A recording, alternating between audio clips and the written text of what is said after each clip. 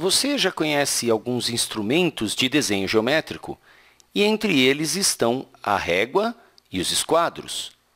Nós temos aqui a tradicional régua e temos aqui os esquadros. Este é um esquadro, este é outro esquadro e são os mais comuns que você vai encontrar por aí.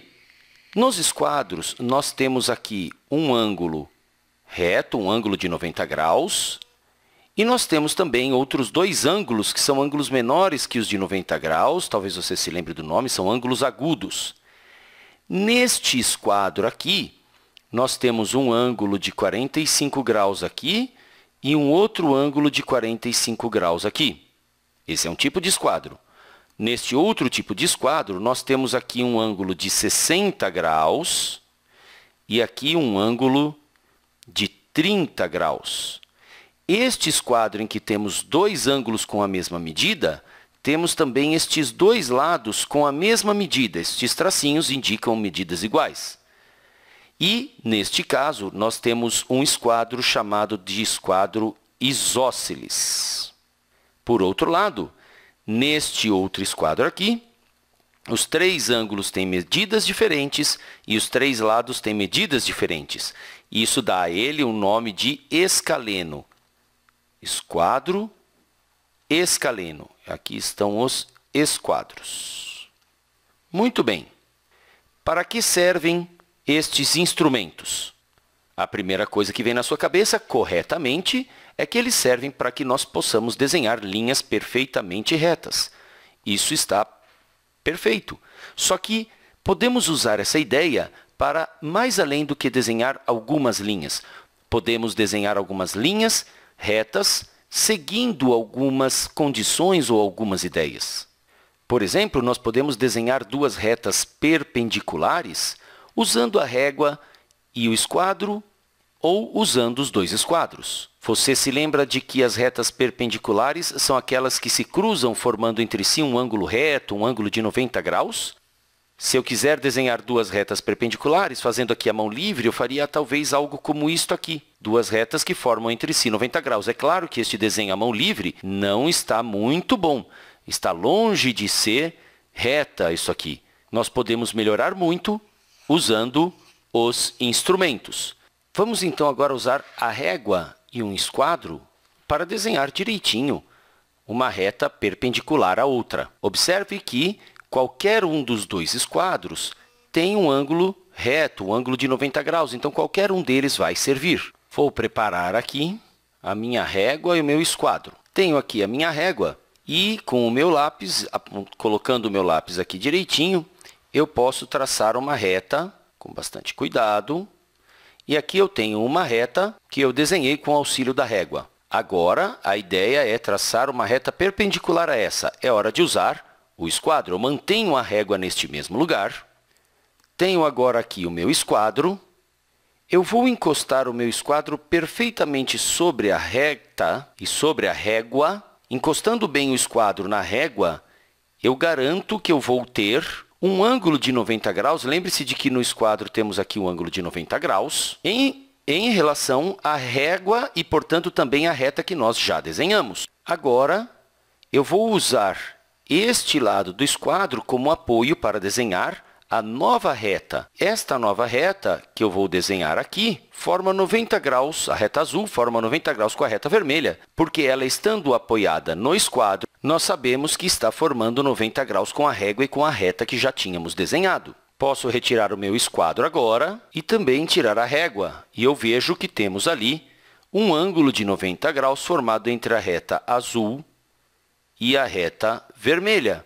É claro que pode ser interessante eu usar novamente o meu esquadro ou a minha régua para prolongar esta reta azul. Então, eu colocaria novamente o meu esquadro aqui, deslocaria o meu esquadro aqui mais para baixo e, com muito cuidado, eu poderia continuar a minha reta azul. Desta forma, quando retirar o esquadro, eu teria ali duas retas perpendiculares bem feitas. Podemos também usar os esquadros e régua para construir retas paralelas. Vamos ver como fazer. Retas paralelas são aquelas retas que no plano mantêm sempre a mesma distância entre si. Então, por exemplo, uma reta aqui, outra reta aqui, se eu fizer cuidadosamente para que a distância entre elas seja sempre a mesma, eu estou desenhando retas paralelas. A gente também diz que as retas paralelas nunca se encontram, é verdade, mas esta não é a definição. Eu fiz aqui a mão livre, apenas uma ideia. Vamos fazer usando os esquadros direitinho, um par de retas paralelas. Digamos que eu queira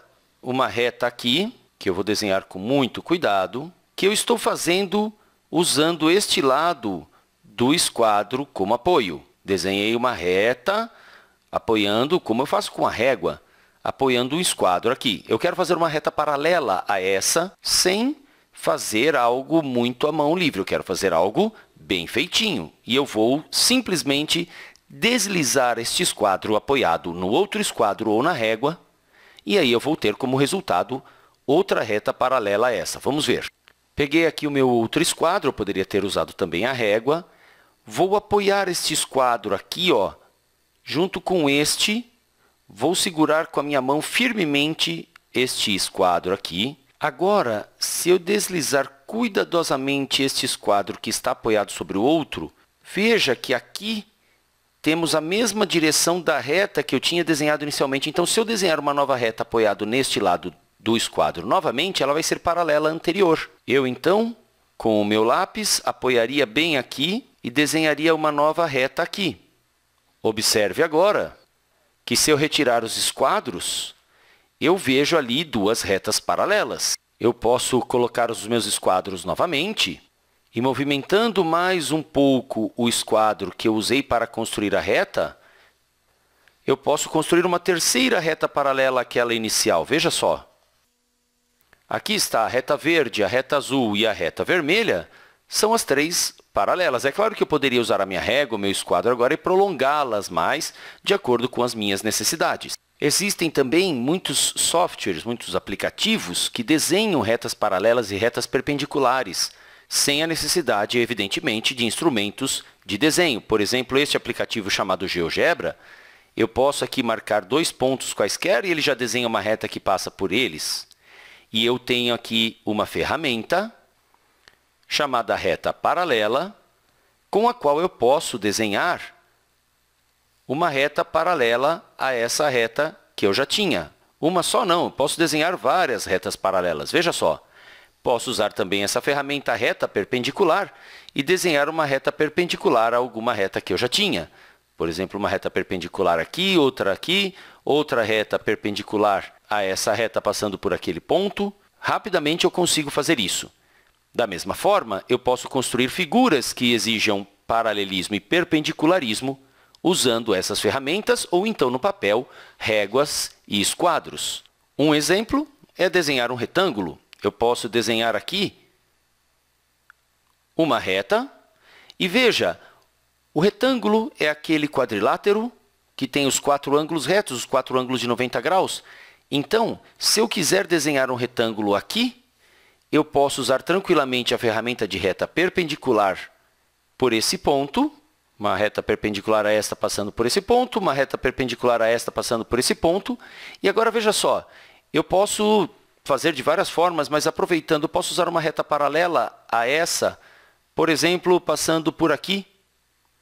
Veja só que eu consigo aqui, eu consigo formar um retângulo. Por quê? Eu tenho os, as retas paralelas formando os ângulos de 90 graus, e isso garante que os lados opostos são paralelos. Eu vou usar aqui a ferramenta polígono e desenhar o retângulo aqui para que o software destaque bem esse retângulo para que possamos ver bem.